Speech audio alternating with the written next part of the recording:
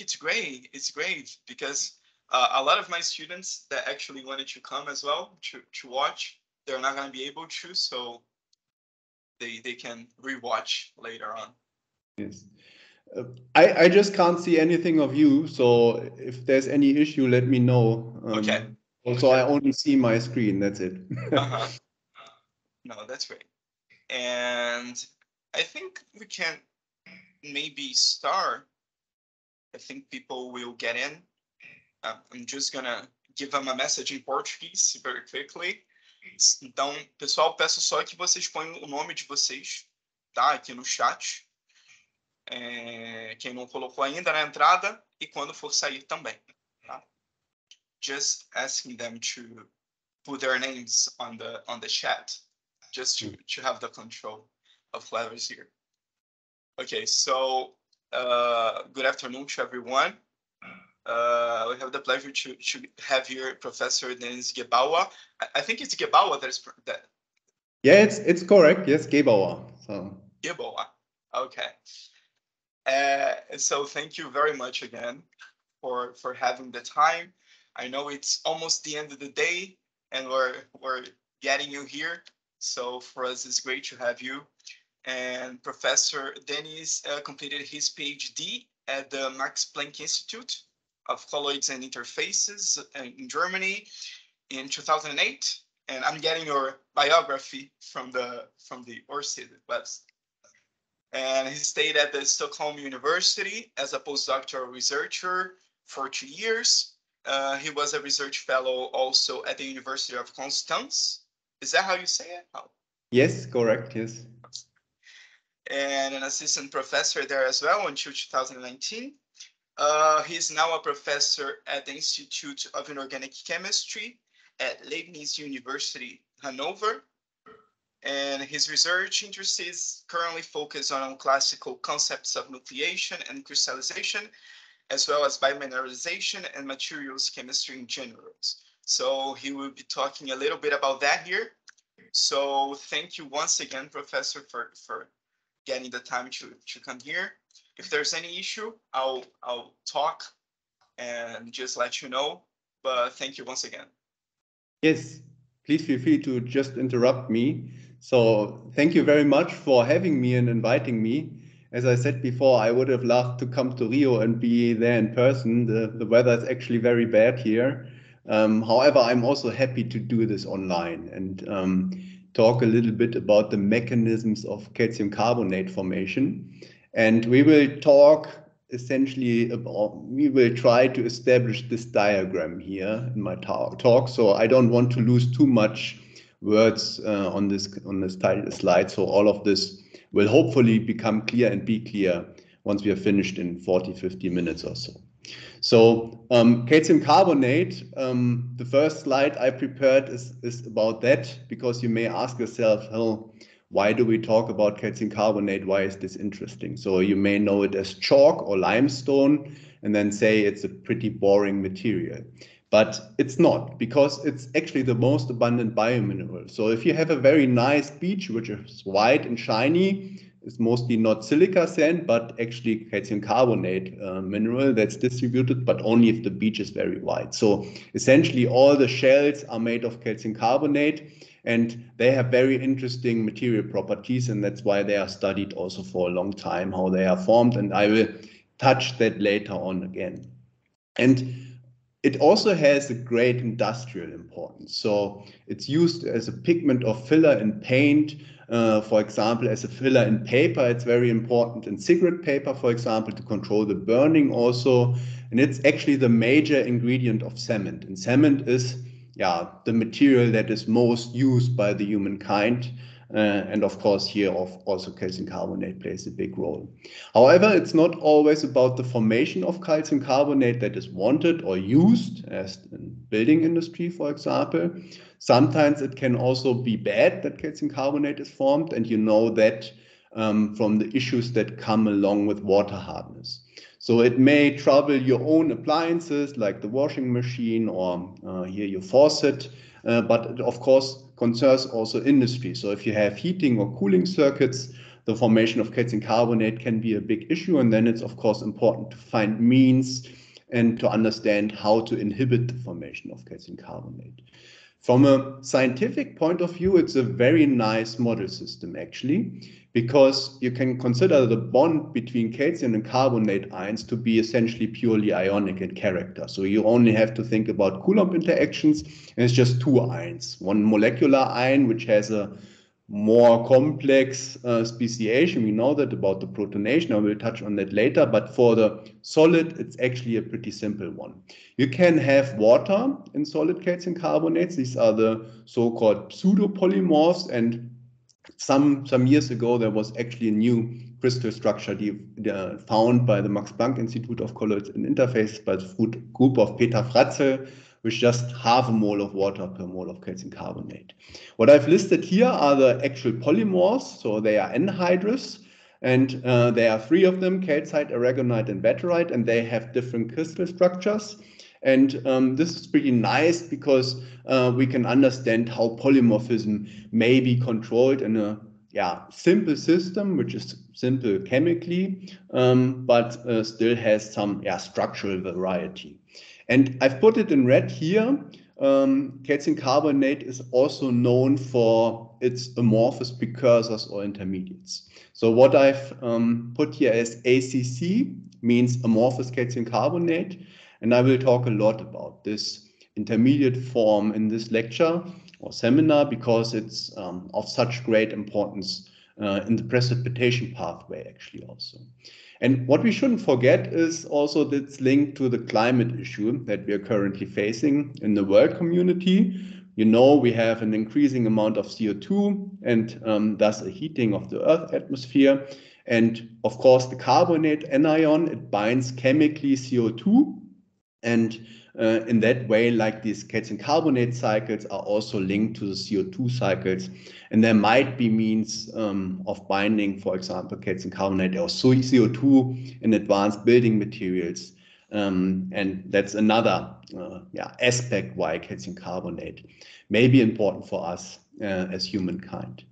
So you see there are a lot of issues where calcium carbonate is important and the formation of uh, calcium carbonate. And that's why, of course, it's yeah wanted to have a working theory of uh, how these minerals form. And for these theories, you have different expectations that I already touched upon. So the first one maybe is uh, under which conditions can a given mineral form yeah, occur thermodynamically. And this is actually pretty well understood. However, it does not only concern the solid forms like calcite, aragonite, vaterite, it may also concern like intermediates, be it ACC, like the amorphous form, uh, or something similar if you want to make use of it in making materials or if you want to avoid the precipitation of calcium carbonate. And then, of course, you would like to know what determines actually the atomic structure of the finer mineral, so the problem of polymorphism. And I've showed you or mentioned the different forms of crystalline calcium carbonate, but the prime example for controlling polymorphism is, is carbon or the allotropes of carbon. So you have graphite and diamond. It's chemically the same. However, the material properties couldn't be much more different actually in a solid. It's not so extreme for the calcium carbonate polymorphs. Um, however, there are still differences. That's why in biomineralization, the mussel shell, for example, controls aragonite over calcite formation. And then you may want to know what are the precursors that play a role in the formation of these minerals and what are their properties. And precursors are the earliest stages. So are these simple ions or is there something else forming? And then when we think about intermediates, then, then I mean um, solid intermediates. So these could be amorphous or they could also be liquid intermediates or like also crystalline intermediates on the way to calcite, you could form metastable vaterite or aragonite on the pathway. And then, of course, you want to know what's the kinetics of the occurrence of these different forms, um, how fast do they occur on, and on which time scales, and can you somehow, via this nucleation, influence particle shape and size? And there are many, many more questions. I could go on and on. And in the context of yeah, being a chemist and a material scientist, perhaps it's of course the main question to understand how or if we can control all or any of these aspects uh, towards particle formation. And for that, of course, you have to have a functioning and a working theory. So to, to wrap this issue up of, of nucleation, the question is how are the first tiny nuclei formed from their building units? And of course, it depends on the type of crystal. So we are talking about calcium carbonate here, so it's ionic uh, building blocks, but of course you could transfer this also to molecular or atomic crystals.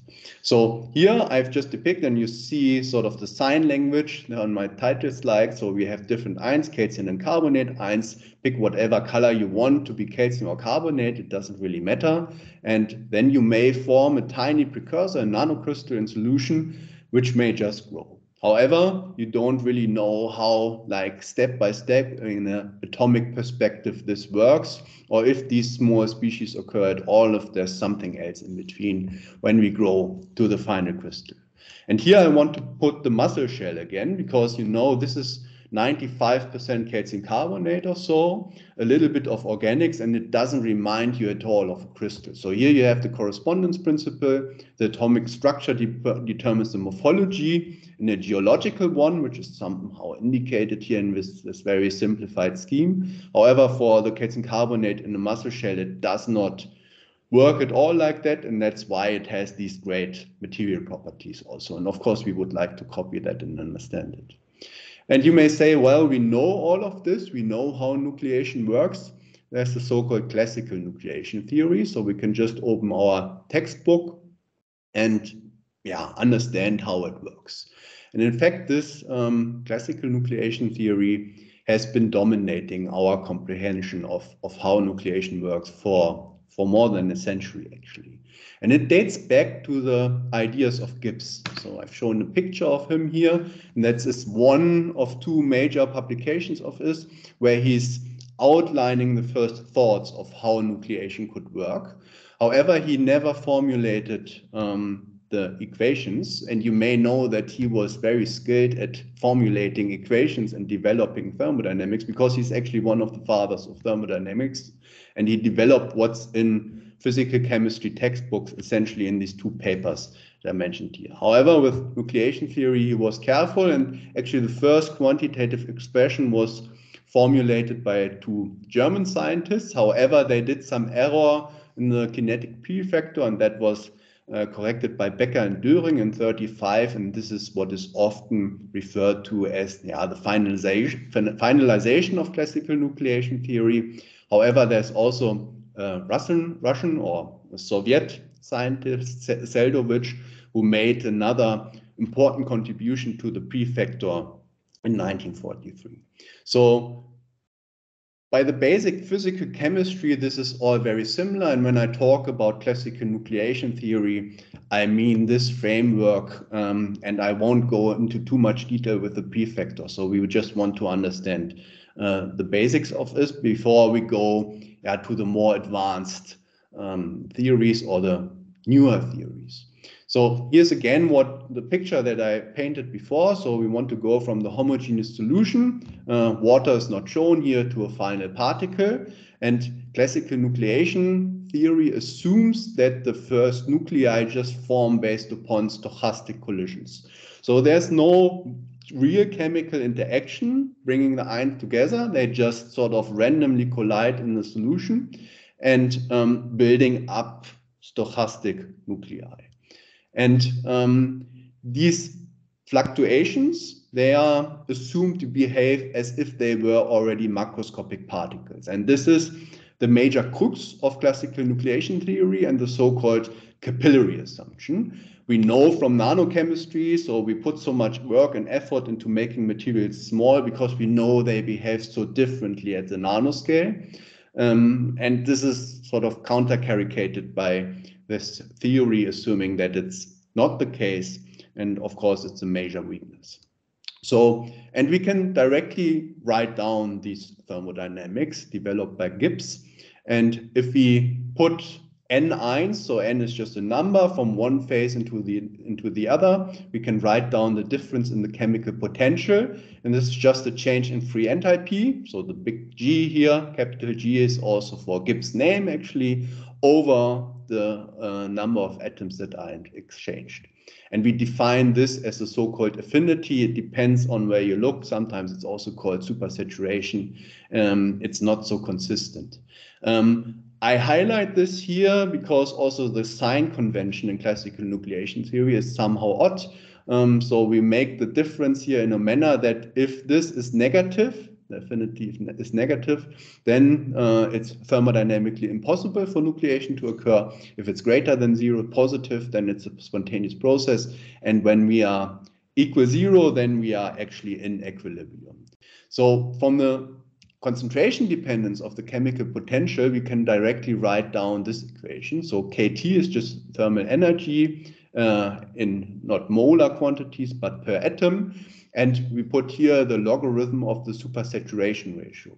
And we will be talking about calcium carbonate. So it's the actual ion activity product, IAP, divided by the solubility product. So you know the solubility product is a constant for the different polymorphs, and it's also given by a actually activity of calcium times activity of carbonate. So, and if this is the solubility product, then of course the supersaturation ratio is one, and then this, the logarithm of one is zero, the affinity becomes um, um, zero, and we are in equilibrium. If your ion activity product is larger than the solubility, then you're supersaturated, supersaturated and nucleation can occur in principle. However, we know from experience that it's not a spontaneous process. So if you're a little bit supersaturated, there are situations where you can actually wait for years before nucleation would occur.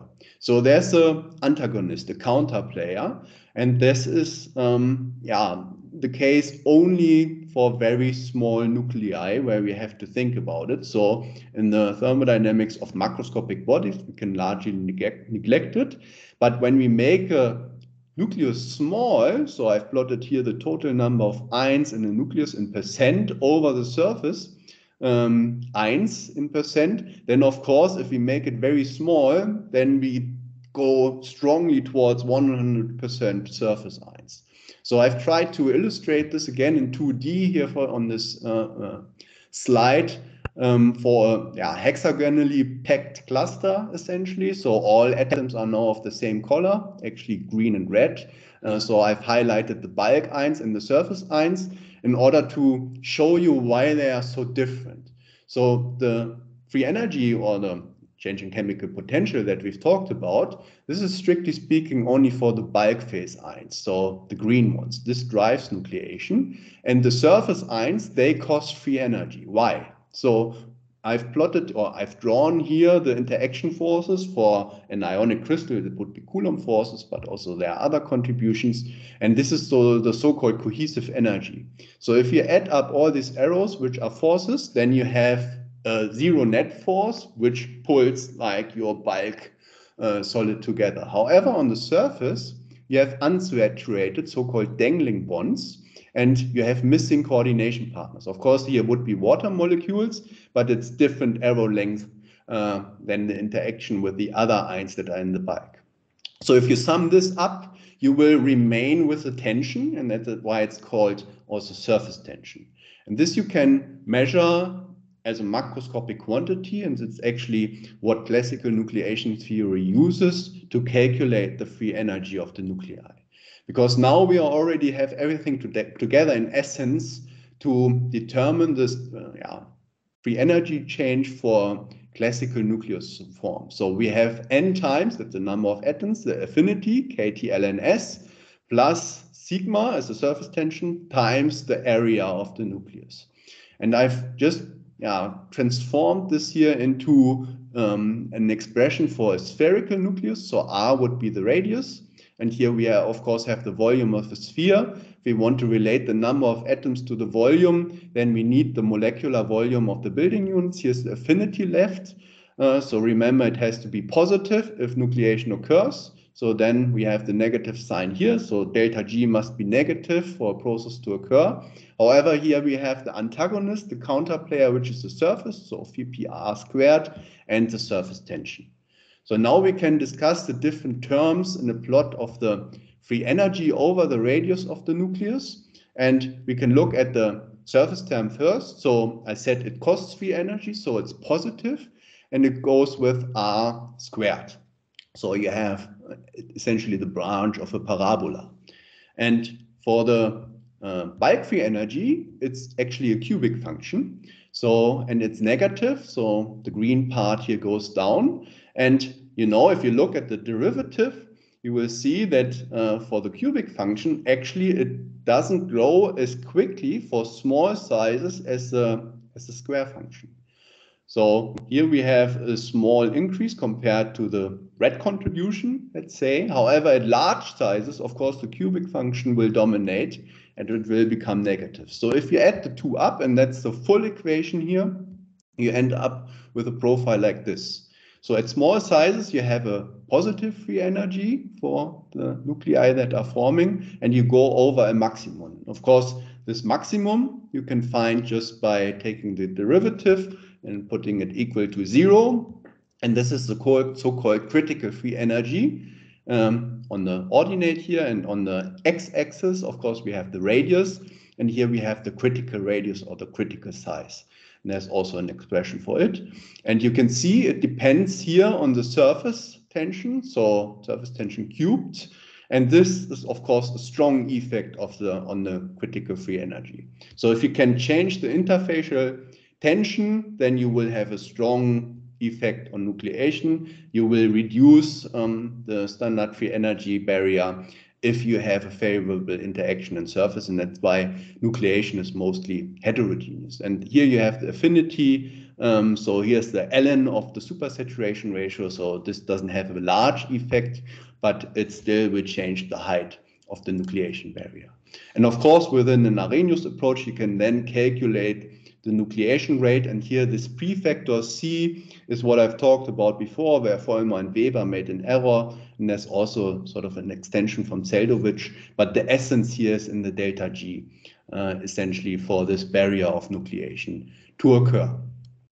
Okay, so you have the nucleus of critical size, and then you just grow ion by ion, essentially to yield the final particle. And that's it, how it's envisioned, envisioned uh, in the textbook.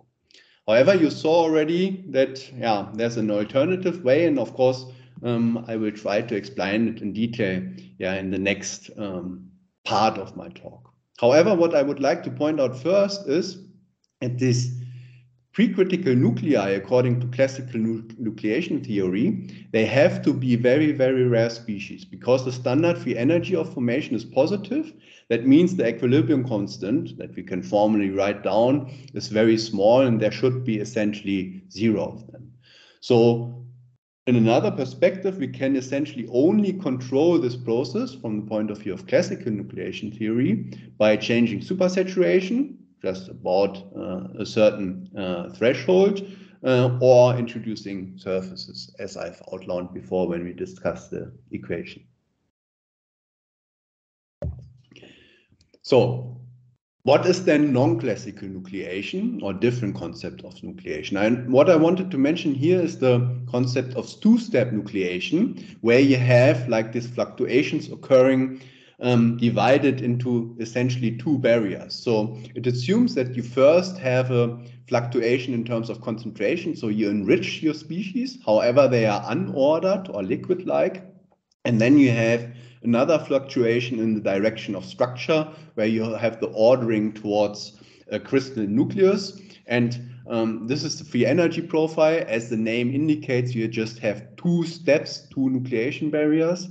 And um, this is used to parameterize classical nucleation theory. And actually, there's a recent paper by Professor Kashchiev who showed that this framework can be expressed completely in terms of yeah, expressions developed for classical nucleation theory.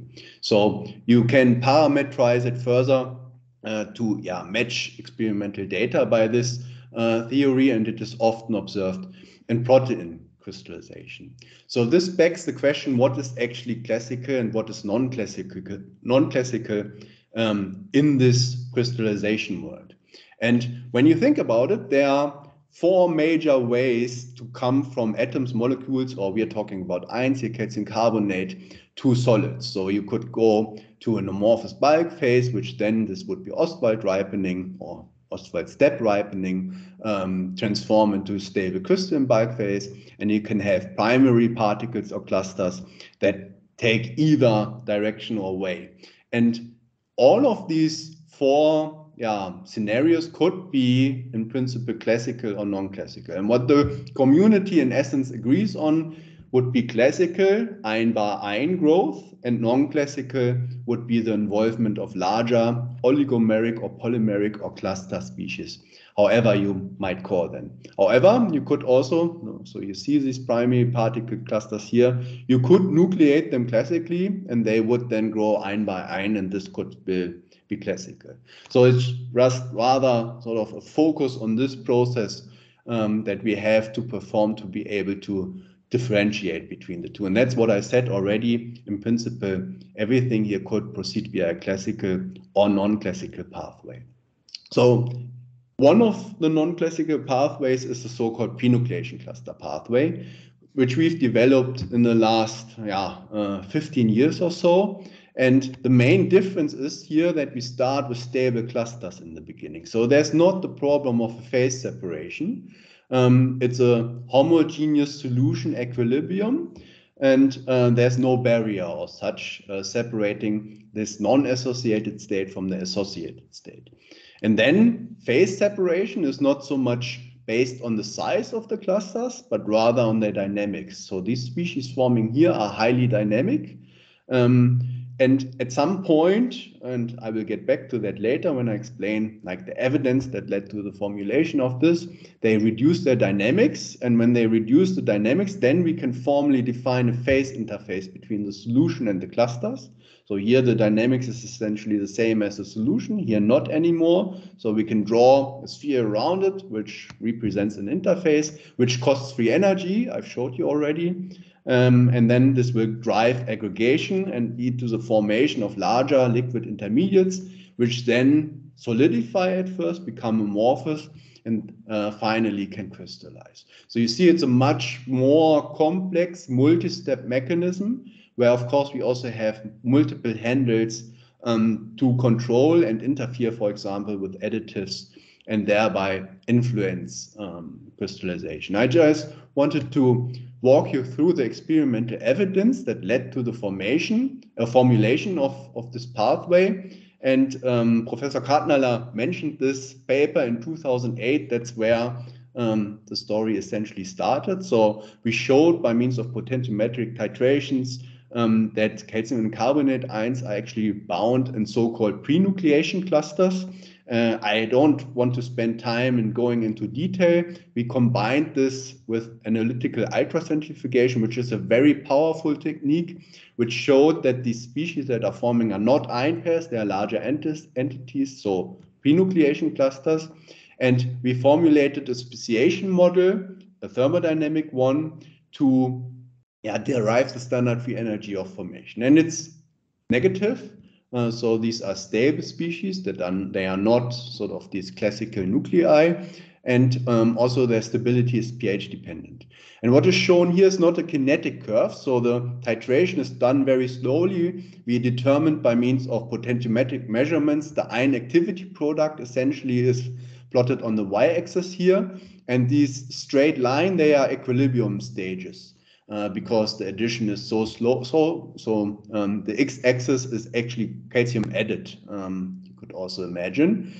Um, and then here the slope is inversely proportional to the stability of the ion associates that are forming. So you see with um, increasing pH, um, they get less and less stable.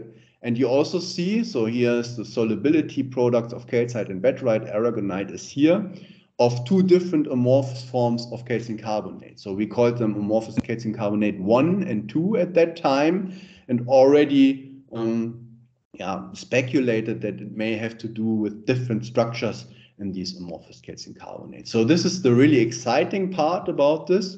We saw a link between pre-nucleation and post-nucleation uh, speciation or thermodynamics. So the more stable pre-nucleation clusters yielded a more stable ACC and the less stable, less stable ACC. So the question is, what are these different amorphous calcium carbonate? And we subsequently developed a method to um, isolate these particles. And you can see here, so this is classical TEM, just the quenched nanoparticles. They are maybe 10, 15, 20 nanometer in size. And here's the electron diffraction. So this is just the pair distribution function you see as this are amorphous species clearly. And I will show you a high resolution image later too, where you can see the surface texture that there are no lattice fringes or anything. And what we did here is solid state NMR. You don't need to understand much about solid state NMR um, to understand this spectra. So on the x-axis here we have essentially a chemical environment. Now what I'm showing here is the spectra of calcite and vaterite. So you see here one crystallographic carbonate, so this 13C solid state NMR in calcite, at least two in vaterite with different populations. And you have much broader Gaussian shaped lines for the two amorphous calcium carbonates. And you see that the maximum is centered at the chemical shifts for the vaterite and the calcite. That's why we call them proto-calcite and proto-vaterite amorphous calcium carbonate. And uh, we corroborated these notions also by IR spectroscopy and X-ray absorption spectroscopy, but I'm not going to discuss the data here. What I wanted to highlight though is that this proto-structuring does not predetermine any polymorph. So the proto-calcite ACC does not always transform into calcite, and that's the same for the proto-vaterite. And you can understand this also from these solid state NMR spectra, because you have a distribution of environments, and here it's completely random where you nucleate. So if you nucleate a crystal in an environment here, then you will likely get vaterite. If you nucleate here, you will likely get calcite. But um, this is just important to, to understand at that point. So may say there's a missing polymorph, aragonite, and then we later, actually more recently, 2016, we found also the proto-aragonite ACC, and you can get it by increasing the temperature at the higher pH where the proto-vaterite forms. So if you increase the temperature at the pH where the proto-calcite forms, you won't get there, which makes sense because proto-calcite is probably the most stable form of it. And you can see this here in the uh, temperature dependent IR data that above a certain temperature, you see here an increase in the intensity in the nu-1 vibration. And this is, of course, the vibration of the carbonate ion. So the carbonate ion is trigonal planar ion, and the nu-1 would be the symmetric stretch of it. And it's normally IR forbidden. So for, for the isolated ions, when they are in a um, isotropic environment, you shouldn't see this in in uh, in IR. You see it small as a, with small intensity for the amorphous specimens because they are partially disordered. However, due to the symmetry of the crystal structure in aragonite, it's allowed. And you see this increase here, and it's it's a broad vibration, so it's obviously coupled with water. And we saw this as a first evidence of the formation of proto-aragonite ACC. So we did the solid state NMR again, and um, it's not in pure form. So you still have the proto-vaterite left at the 196, but we have another contribution at 170.6, so roughly 171 uh, ppm, which is uh, the chemical shift of aragonite. And we also, yeah, saw that uh, in the X-ray absorption spectroscopy, so the calcium K-edge EXAFS indicated that actually water plays a key role here, that um, the water is closer coordinated to the oxygen of the carbonate than to the calcium than in the other ACCs. And uh, this may also give rise to the formation of this dipole that we see here in the IR spectroscopy and which leads to the deshielding of the carbon uh, in an NMR spectroscopy. So here I'm showing the high resolution images of the amorphous calcium carbonate. So this is uh, proto-calcite amorphous calcium carbonate. And you see that surface texture is consistent with an amorphous material. And at this, so this is 10 nanometers, at this magnification, if there were crystalline domains, you would see them as lattice, lattice fringes. However, there are none. What you see when you play with a focus, is in certain focus plane features like that. Uh, and I've highlighted with arrow, I hope you can see on your computer screen. So they are in the size range of two nanometers.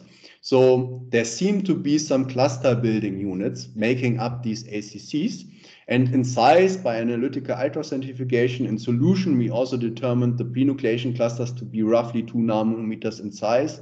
So these might just be remnants. And this begs the question, what are these pre-nucleation clusters? So why are they stable? What is going on? And in order to answer this question, we teamed up with Julian Gale and Paolo Raiteri and Raffaella Demichelis from Curtin University in, in Western Australia and they perform computer simulations. And what I'm going to show you here is a movie of this computer simulation. What is shown here is calcium carbonate ion pairs. So this is actually a crystal structure of Ica It's not important at this point, just important to know that the water is of course left out. Water is in here, of course, intrinsically, but not shown because otherwise you wouldn't be able to see anything. So, and if I start the simulation or the the movie of the simulation, you see that the ions quickly begin to associate into a chain-like form, which is very dynamic uh, and constantly changes yeah, connectivity and also ions are lost but then reattach. And we call this a dynamically ordered liquid-like oxyanion polymer, which is the structural form of these pre-nucleation clusters and which nicely explains, in our opinion, the observation. So there's a nice agreement with the experimental thermodynamics that I outlined and also the coordination numbers. What I'm showing here is a plot of the Helmholtz free energy about above the radius of gyration of a, I think, six formula unit cluster. And you see like at large sizes, you essentially have a flat energy landscape. So you can change um, the shape of these clusters at essentially no energetic cost. That's why we call them liquid-like. However, if you try to condense them and get rid of the hydration water internally, there's a barrier towards nucleation, so to speak, and they can't transform in this manner. So the question is, how do they transform? And evidence for this came again from computer simulations. And um, these were carried out by another group around uh, Jim De Yoreo, but uh, Julian Gale and Paolo Raiteri actually was were also part of this team, and they suggested that actually there's a submerged liquid-liquid coexistence gap in the uh, aqueous calcium carbonate system. So we have here uh, in a typical phase diagram on the y-axis the temperature, on the right axis the ion activity product, and that's what we actually did in the titration. So at a constant temperature, room temperature, we add ions together, so we generate supersaturation. This would be here the solubility of calcite for simplicity, just one solid form. And here we are in the supersaturated regime. And here, of course, there's no violation of Gibbs phase rule. We can have the coexistence of two liquids, uh, which is defined by this liquid-liquid coexistence. And what they saw in the simulations is that first these dollops form, and then like at some point, they would internally develop higher coordination numbers, hence develop the interface and aggregate um, to form solid ACC. So this begs the question, how do you show this experimentally? How do you determine the ion activity product where this process can happen and occur? And we were lucky to do actually the right experiments, which is terahertz absorption spectroscopy. So this was done in collaboration with Martina Havenith in Bochum. And you've seen a similar curve before already. This is this titration experiment where we record the ion activity product essentially while adding calcium solution in a carbonate buffer, so generating supersaturation and observing nucleation at some point. And what we did was just collect samples at different stages, which I already assigned here, and measure the integrated terahertz absorption relative to water. And um, the terahertz absorption spectroscopy is a type of vibrational spectroscopy. However, you do not probe uh, molecular vibration, strictly speaking, but you probe the yeah the, the water hydrogen bond network dynamics, so to speak. And what we see here is a very similar curve to that one, just the same points here because we probe just uh, certain mixtures. Um, however, you have the maximum in the curve as you transition here between the two regimes one and two. And this initial increase is a so-called terahertz excess, and we interpreted this to be due to pre-nucleation cluster formation. So we have an increase above the dynamics of bulk water, and you may understand by, by looking at the thermodynamics of ion association in solution.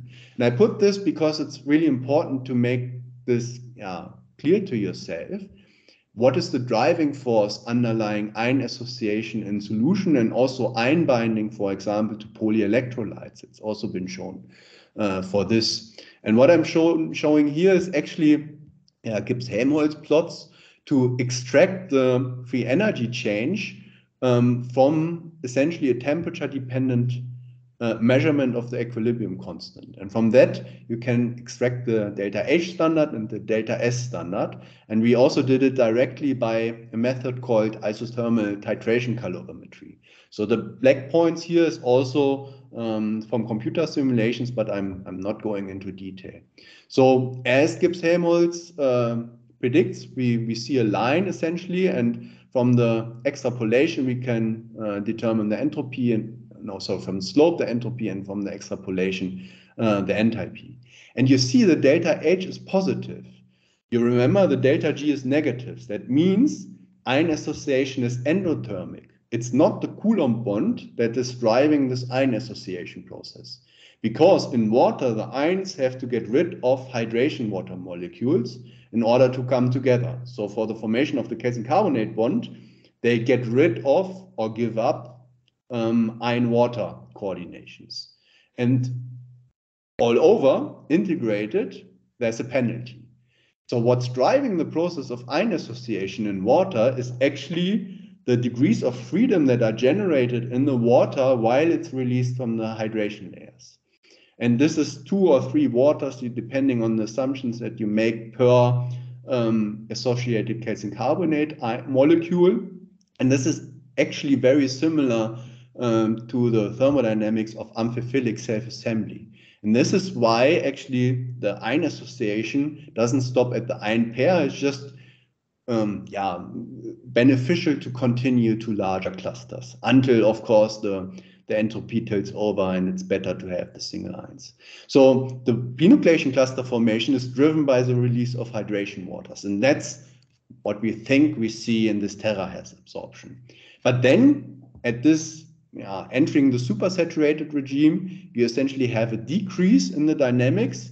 And we interpreted this to be due to the occlusion of these mobile waters within and between the nanodroplets that formed at this point uh, in the titration profile. So we can formally write down the dominating equilibria for these three regimes, one, two, three, as first just the ion association, which of course has an equilibrium constant. And this equilibrium constant, we can also calculate the free energy that I showed you. Then we have a formal liquid-liquid coexistence, which has to happen here because we have a change in the dynamics. So the water behaves completely differently once we get into this regime, and this can only be due to liquid-liquid separation, where we can write down another equilibrium constant. Then we are in the kinetic regime, and we approach here the solubility of this very, very special form of amorphous calcium carbonate, and in this case, it's protocalcite amorphous calcium carbonate, and this, of course, has also solubility, and because we define the solution, uh, the solution equilibrium in this direction, it's the um, uh, 1 over uh, the ion activity product um, for the solubility constant. So there are two important things to point out here, which are very interesting and give a lot of insight actually into the system. So you see here liquid-liquid separation occurs. So we come from a homogeneous into a heterogeneous system, which is described by these equilibrium constants. However, there's no kink or change in slope. That means the free energy changes continuously and not abruptly. So we have a higher order phase transition, which is expected also for liquid-liquid uh, separation, of course. And then what's even more interesting is that obviously this happens as we are supersaturated with respect to this special form of amorphous calcium carbonate. So this means that the thermodynamic stability of the solid that was, will first form determines the point at which liquid-liquid separation occurs. And you can rationalize this by saying what happens here is essentially the solidification or the dehydration of the liquid, dense liquid that is forming here. And here it is a solid and has then uh, a solubility. And I, we don't have the time to go into detail, but based on this mechanism, you can actually formulate a predictive framework to yeah, describe the liquid-liquid coexistence, which um, takes some time to digest. I know that. Um, but what I'm showing here is essentially just um, the, the quantitative reflection of what, what we've seen before uh, from the De Yoreo science paper of the liquid-liquid coexistence, which also includes the amorphous polymorphism. So the data points that I'm showing here, these are the experimental points for the solubilities of the different forms. So the proto-aragonite ACC, the proto-calcite ACC, and the proto-vaterite ACC. And here we have um, the literature solubility of amorphous calcium carbonate prepared from very high supersaturations. Uh, and this is sort of our experimental measure or points measured for the spinodal, um, predicted on this model.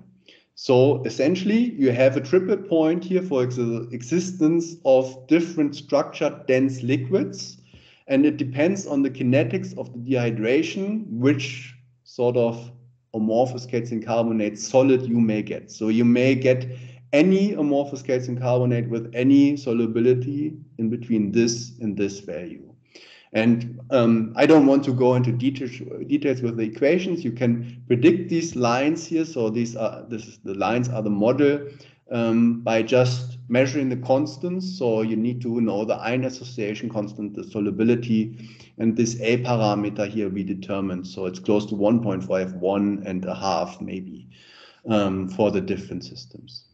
So this brings me to my conclusions, uh, more or less on time. So I hope I could convince you that we were able in the last uh, 10 to 15 years maybe to introduce a quantitative, now quantitative non-classical theory of phase separation, which is based on so-called pre-nucleation clusters for the calcium carbonate system.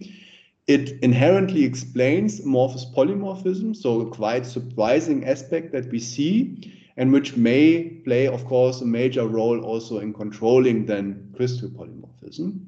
And we can also reconcile yeah, variable ACC solubilities that have been reported in the literature throughout the years. The model predicts uh, the liquid-liquid coexistence region, and in the long run, it may also help to understand better how additives interact with the different stages or precursors of calcium carbonate. And that's what I'm at least getting to. Um, so we can rationalize with these more complex pathways the rather yeah, complicated additive control patterns that we see. And I just wanted to mention the so-called polymer-induced liquid precursor, which was discovered by Lori Gower, um, which of course can be nicely explained here uh, by just stabilizing these liquid-liquid separated states by polycarboxylates, by just keeping the water uh, inside of these phases. And of course, you can use them for making materials. And there's also, I think, uh, now consensus in the biomineralization community that it plays a large role in making this um, very fascinating biominerals. This, of course, begs the question if um, this mechanism and pathway is more general, perhaps, and of broader relevance. And over the years, we have been studying different compounds now I think we've shown for iron oxyhydroxides, it's a similar way for calcium phosphates, for barium sulfate, aluminum oxyhydroxides. We are now also looking into small organic molecules, and it's not the same everywhere. There's sometimes spectacular differences, but um, there seems to be a lot of promise uh, in these notions of this new pathway. And as I showed you, and maybe as a take home message at this point is that the water actually the solvent plays the main role i didn't show it and i'm in a minute i'm going to show again the scheme that we've now walked through in detail the water is not shown but actually it's the water that plays the main role at each step It plays the main role in ion association. It plays the main role in liquid-liquid phase separation. It plays the main role in the protostructures of the amorphous intermediates, and it probably plays the main role in the following crystallization pathways.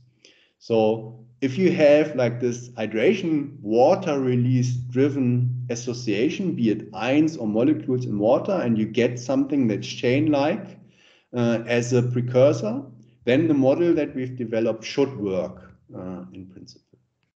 So with this, I would like to thank many people who helped. I'm not going to read all the names. I've mentioned uh, many of them already during my talk. Um, so these um, developments of the model was, were also done in collaboration with Karin Hauser. There are several people from my group I would like to thank, of course, um, where the money came from. And last but not least, I would like to thank you for your kind attention and Professor Kartner again for the nice uh, invitation and the opportunity to present our research here. Thank you. Thank you, Professor Gebauer. Uh, it's a great presentation. For me specifically, something close to my research line. So, of course, uh, I would like the presentation, but I think it was very uh, easy to, to understand this very complex, you know, because people think, oh, calcium carbonate, it's such an easy salt. Why is it so complicated? And there's this uh, uh, such complex chemistry behind it that leads to a lot of understanding, you know, about the, the physical chemistry aspect of, of crystallization.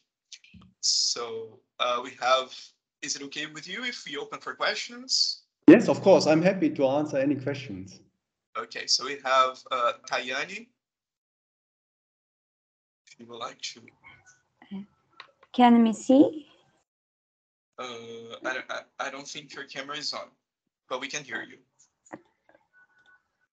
Uh, ah. Ah. Okay.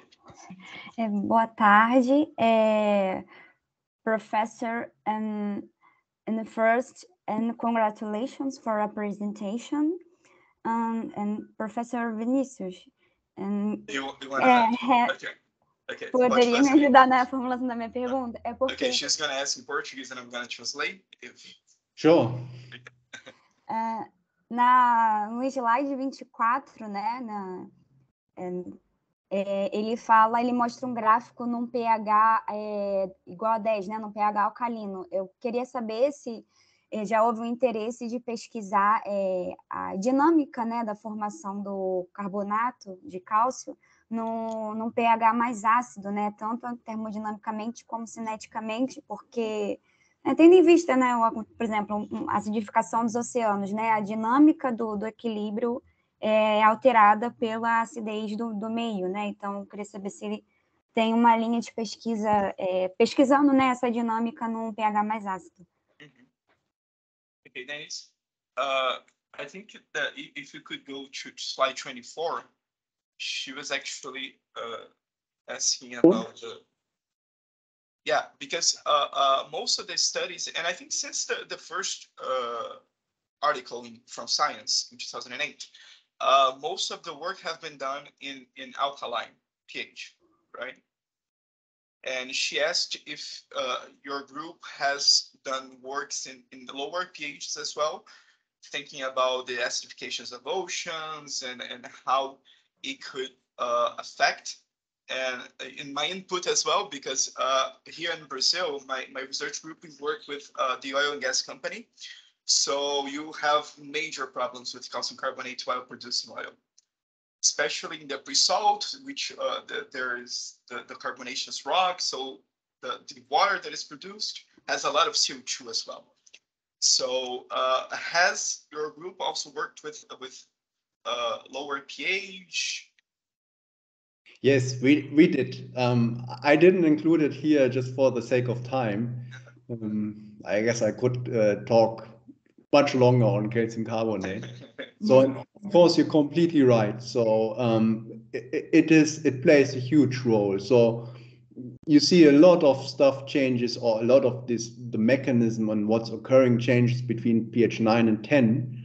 And um, so almost as much changes again if you go below. So we've had, I think it's published 2019. Um, we've developed developed like um, continue to develop this titration method to be able to cope with lower pH values because like the at least concentration of carbonate buffer that we use between pH 9 and 10 uh, actually CO2 will indiffuse but you can neglect it we showed that and if you go below pH 9 then of course CO2 will start to diffuse out so you have to in order to remain quantitative you have to counter titrate in, in addition with, with, with HCl. And we did that and also saw like the calcium bicarbonate association. And what is happening in a nutshell is that you have um, calcium bicarbonate ion pairs starting to play a role in speciation. Um, however, they don't seem to directly interfere with the crystallization. However, you have with the same equilibrium constant, you have the bicarbonate ions binding to the prenucleation clusters. And this leads to around 5 to almost 10% of the bicarbonate ending up as a structural constituent of the amorphous calcium carbonate. So you have bicarbonate in the structure um, of the amorphous calcium carbonate, which seems to also stabilize it kinetically against uh, crystallization. Um, and there's a lot remaining to discover. So before also we published a paper with with Lori Gower and one of her PhD students, uh, Mark Bewernitz, and he showed early on already that bicarbonate actually plays a big role in stabilizing these liquid-liquid separated states, probably also by interacting with the surface because as you know, like at, at pH 8.5, 98% or so is bicarbonate. So there's only very few carbonate which still dominates the ion association, but there's like a lot of stuff going on around it, and there's a lot of room for research. Okay, thank you, Professor. Okay, thank you. Uh, Beatriz?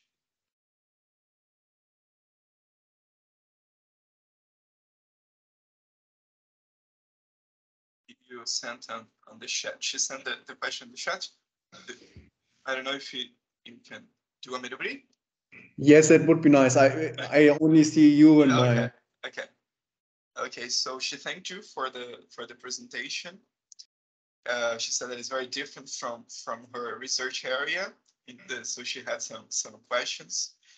Uh, she's in a noisy she's in a noisy place, and the, her connection is very unstable. That's why she she typed on on the chat. Uh, first, uh, a very simple question, how the terahertz spectroscopy works. Uh, is the first time that she she saw this.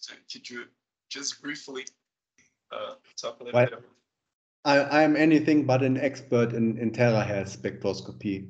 So we visited um, like the setup once, and it's actually very similar to a, to an attenuated total reflection IR setup. So um, it's of course different wave numbers. So you, you go to even lower wave numbers and in sort to, so to speak classical IR to be able to observe the lattice vibration and beyond.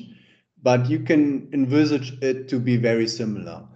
However, it's also very difficult to interpret because you get sort of in an acoustic uh, domain of, of vibrations, right? So um, just by by the setup it looks very similar and it works also in a hand waving manner similar to IR spectroscopy. And that's a way to wrap your head around it. But it's not so easy to interpret.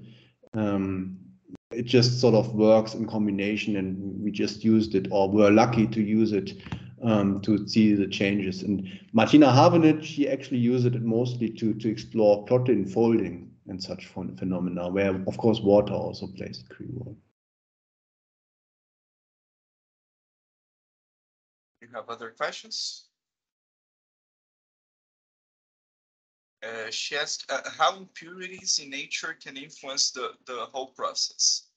Uh, do, you, do you study this competition process and how other maybe ions, maybe other components in solution can affect the, the Yes, uh, unfortunately, I didn't put any slides on this because I wanted to keep it short. So we have studied the the effects of, of many different additives. So from ions to polymers to proteins, peptides.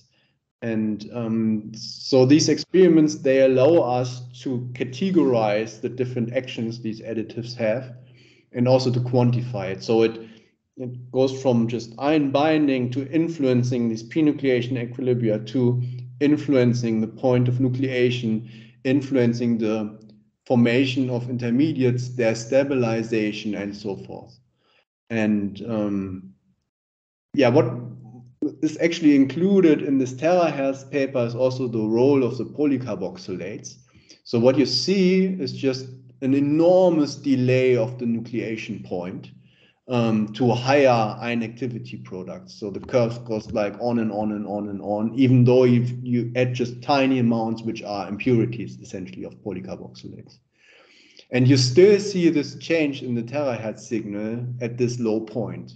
So everything above that you see is a stabilized liquid-liquid separated state you know, by this polycarboxylate. And it's very, very interesting because polyaspartic acid and polyglutamic acid, which just have one CH2 difference in the side chain, they behave completely different. And we've also studied um, like recombinant proteins that we made just from biomineralization.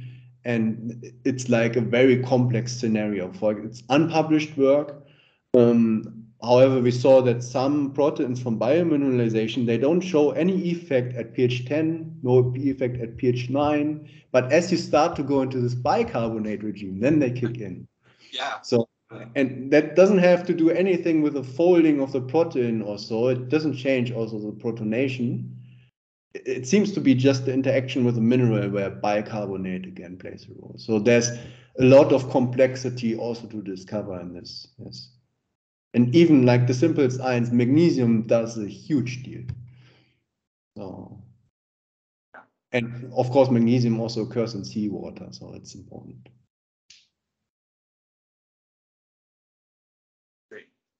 Beatriz, all good or one more? Okay, she's gonna write. Uh, before reading your your last one, let me just. Uh, it's very curious, Denis, that, that you brought this up because uh, I have a student. She's actually here, and we we've been uh, studying some uh, the effects of different uh, sizes of sugar molecules and how it affects the the now in application, how we can prevent calcium carbonate to, for, to form inside tubes. And you may have the, the same quantities if you have glucose or if you have uh, starch, uh, soluble starch, all you have is the, the polymerized glucose. And the glucose, it affects nothing. It's not gonna inhibit the formation of calcium carbonate, but starch will and just by the the chain. So it's it's very curious that that you have the. Yes, I, I mean you're right. Also, polymerization degree or molecular weight it plays a huge role. Yes, and then also of course secondary structure. So yes, and and for for I, I completely agree with you. It's important to study carbohydrates because I mean they have been neglected for a long time because it's much more complex, especially also in biomineralization because many of the biomineralization proteins they also carry sugars on on top, so they are proteoglycans, right? We only focus for a long time on on the peptide uh, chains, but there's a lot of stuff on the surface that we don't understand yet. And we, we also did uh, some study on different different carbohydrates, and there are spectacular differences as well, which we don't really understand yet. So, but it may be just down to the complexity of this pathway. So you can understand that maybe a certain structure is more likely to interact efficiently at this stage, and another structure maybe at this stage. So yes. Okay, uh, Beatriz asked uh, her last question. Uh, the computer simulation that you that you showed on slide 19, uh, is it specific for calcium carbonate or was it performed using uh, usual software of molecular dynamics? Well, I, I'm I'm again not an expert on computer simulations, um, so this is anything but routine, I would say. So um, so there was a lot of effort put at that time. This is already ten more more than ten years old, so we could probably do better in the meantime. Um, but I think the, the main results are still standing. You may know that there's a lot of work also published challenging this. I, didn't really go into detail. I, I don't. I think we replied to all the challenges. Uh, so, in my opinion, it still stands, and we are also now working on, of course, in collaboration with Julian and Paolo, to try to simulate other species. However, like the calcium carbonate is of course for the computer simulation because it's so simple, in a way also um, the most suited. Yes, but it should simple work also for other uh, chemistries. However, I don't think you will get meaningful results with just standard material studio software. Also, that's not usually how it's done.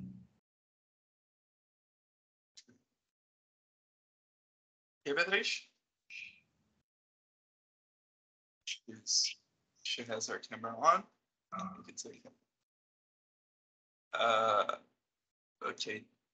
The, the next one, Lucas. And hi, can you hear me, Professor? Yes, I can hear you well. Okay, and thanks very much for your presentation. It was very, very interesting. And I have a question. Uh, you have shown in the beginning of your presentation a nucleation free energy as a function of the radius. Mhm. That looks very similar to me as a as a reaction mechanism coordinate. Uh, my question is the following: Can we think of in the in the nucleus of critical size as a activated complex uh, similar to the transition state theory, or that's not not related? I, I, I think you're right. I mean, the essence is very similar. So you can think of of the critical nucleus as a um, as a as an activated complex. However, there are of course some caveats. So um, the theory is formulated in a very different manner. So if you think of the basic Eyring theory, it's formulated for an elementary reaction, and um, the formation of a classical nucleus includes, of course, a series of elementary reactions. However, like from the point of view of a free energy landscape, it's essentially the same. Um, so I would agree, yes. You, you, you can think of it in analogy, yes. And I mean, the expression that comes out is very similar anyways, right? So.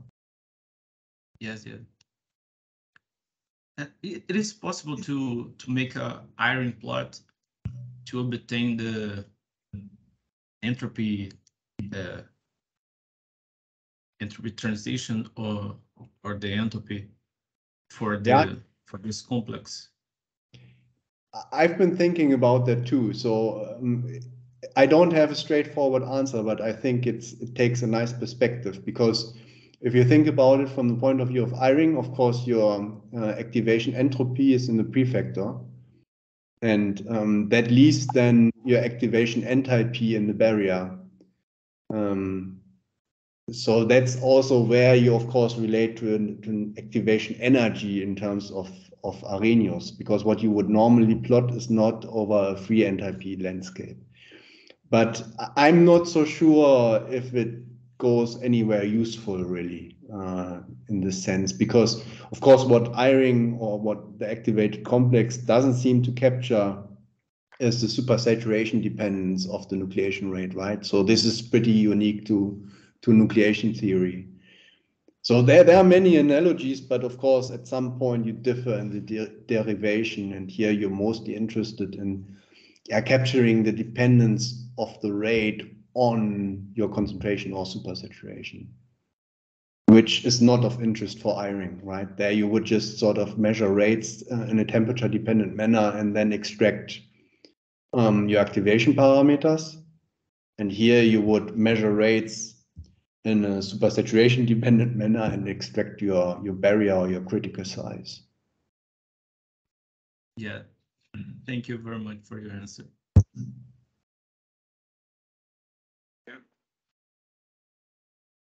Any more questions? Those were the one with the raised hands.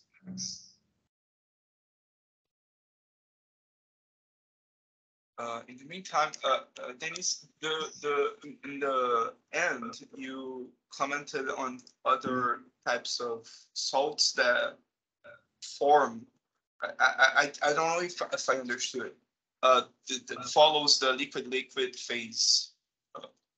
Uh, or that at least like follows similar pathway uh, in the early stages. Yes, so that's this slide you mean, right? Yeah, yeah. So barium sulfate as well. Yes. Yes, it's uh, there's it should be published. Yes, I think so. So very recently we published also on magnesium hydroxide. It just came out a week ago or so.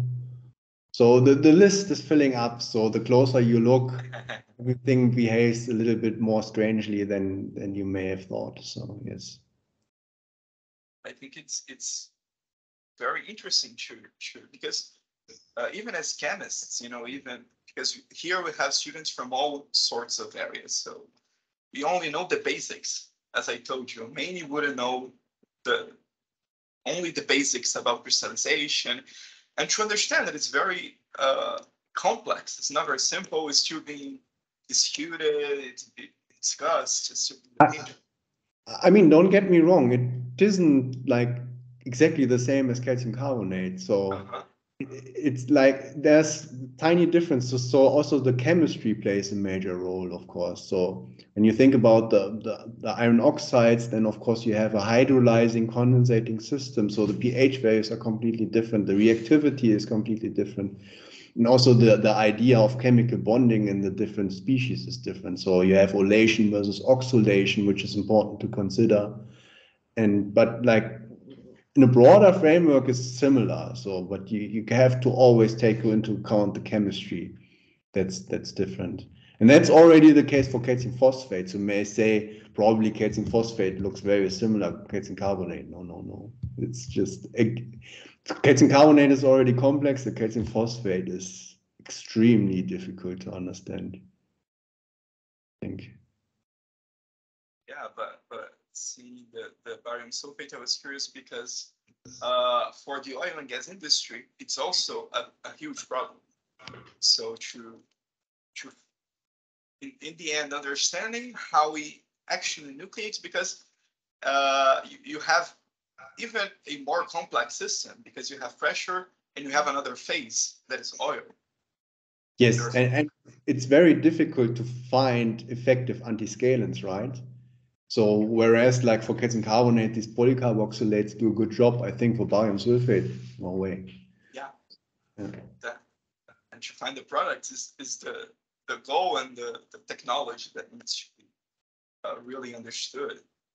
And especially calcium carbonate because uh, the industry finds a lot of problem uh, with calcium carbonate and emulsion they see that the, the solid is actually on the interface between the water droplets and the oil itself. So if you think mechanistically of the whole process coming from, from the liquid-liquid phase and the water, and the dehydration and how it goes to the interface. And so it's very complex. Yes, I agree. I mean, you you then so so to speak couple different phase coexistence also. I mean, it's also like just if you leave the oil away, yeah, well, you can also like, of course, you have coacervation. So if you have these polymers, they could also make salts with just the ions, right? So or barium or whatever you're looking at. So there's a lot of uh, things to consider. Yes, I agree.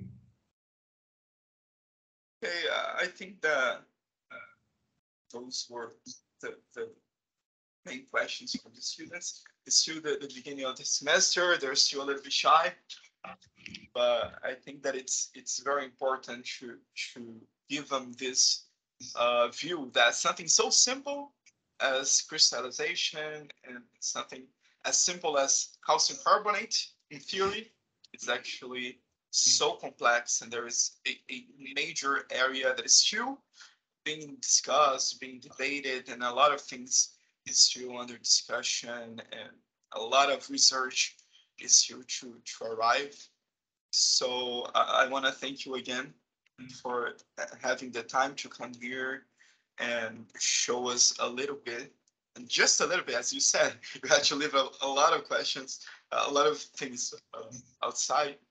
But I want to thank you again for for coming here, and that's it.